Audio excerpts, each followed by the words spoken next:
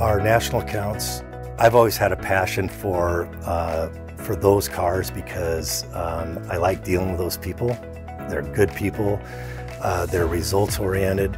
They're progressive, and we have aggressively pursued, you know, agendas that have made us relevant to them, where they have continued to support us. Nobody thought that you could ship cars from New Jersey or Los Angeles or Detroit into Spokane we showed that that could happen. National accounts will always go to where the buyers are.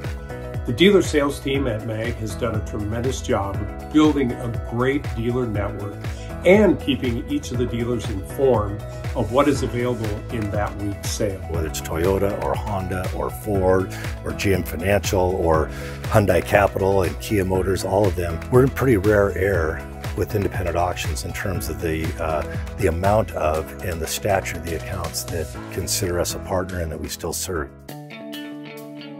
The rock and roll sale has really become a unique event. It's there's really nothing of that size out in the industry right now.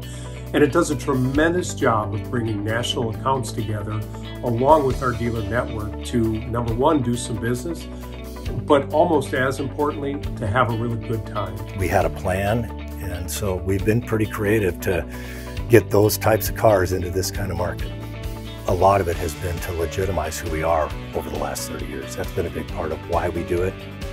We love selling their cars and we appreciate them.